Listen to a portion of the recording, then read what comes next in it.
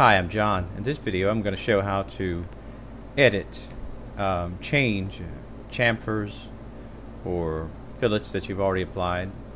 So quickly here I'm going to uh, apply a fillet. So we'll go radius and um, actually let me see how far this is. Okay.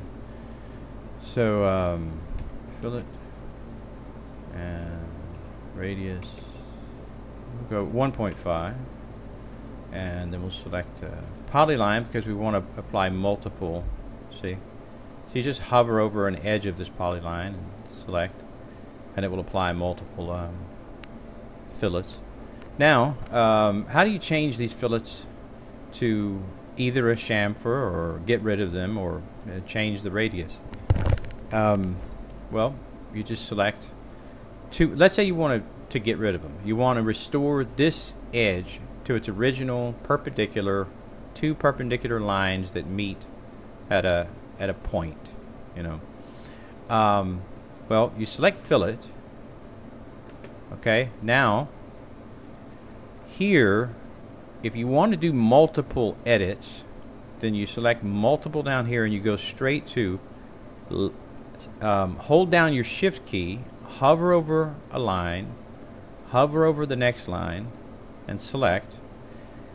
And right now your um, fillet is still open, so you can do multiple of these. So you stay hovered over the one you just did, um, hold down your shift key, select, select,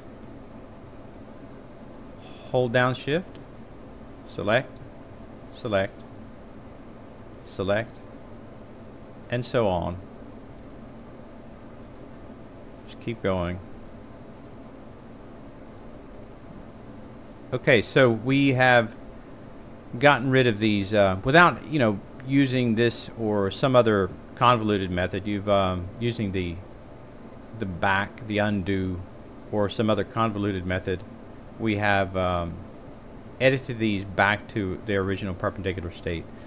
Now, what if you want to change this to a chamfer? Well, we'll go ahead and get out of that command. Um, let's see, C-H-A, chamfer. You come over here, and let's say we want to do multiple. Then you select the distance that you want. And let's say we want 0.8 for the first um, line, 0.8 for the second line select multiple, select, select, select, select. So, and basically you can just kind of keep doing it this way. And that's how you edit. We'll go ahead and do this one, even though it kind of throws things off here.